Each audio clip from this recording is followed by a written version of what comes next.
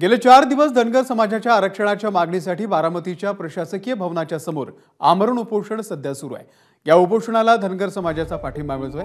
मात्र याच आंदोलकांनी आता गोविंद बागेमध्ये एकाही नेत्याला येऊ देणार नसल्याचा इशारा दिलाय.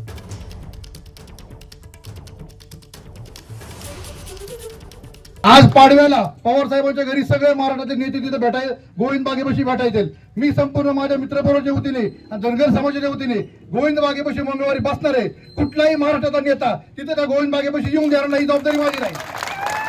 आणि माझा मला असं वाटतं की प्रत्येकाने याला पाठिंबा द्यावा. कारण ही माझ्या एकट्याची लढाई नाही किंवा चंद्रकांत वाघमणीची लढाई नाही ही धनगर समाजाची लढाई आहे. आणि ह्या लढाईच्या आर- आरक्षणाच्या लढाईमध्ये जर आपल्याला जिंकायचं असेल तर सर्वांनी एकजुटीने उभं राहिलं पाहिजे. एबीपी माझा.